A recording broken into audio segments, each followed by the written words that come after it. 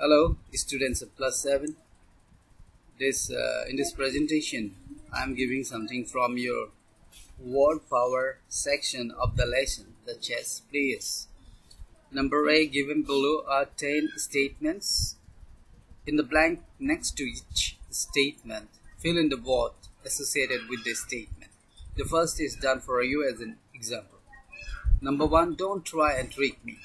That is given reuses. Number two, your remarks are not kind that I have written on cherry table. Number three, your health is getting worse that I have written deteriorating. Number four, this is not the right time to do this that I have written inauspicious. Inauspicious. Number five, we are friends again. After some quarrel, the friends are united again, that is reconciled. Number six, I don't like the way he spoke to me. That is resentment. Then number seven, there is so much confusion here. That is turmoil. Number eight, we need more. That is deficient. Number nine, now let's plan how to do this. That is strategies. Number 10, he won the tournament three years in a row. That is successive. Number B, fill in the blanks with five words from the box. The box was given earlier to this A that I have not included here. You can have you can see that. Now fill in the blanks with five words from the box and construct sentences of your own with the other five to illustrate the meaning of the words. Now this is it.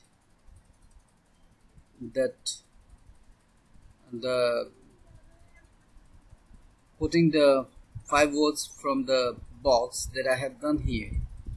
And that writing sentences expressing the meaning of the other five that is left to you you will do it in your notebook. So number one the weather is deteriorating. We should get indoors quickly. Number two a black cat crossing one's path is considered an inauspicious sign Number three, you need to eat more salt as your body is deficient in sodium. Number four, in spite of our clever strategies, we couldn't escape punishment. Number five, the coach said his reuses for winning the tournament.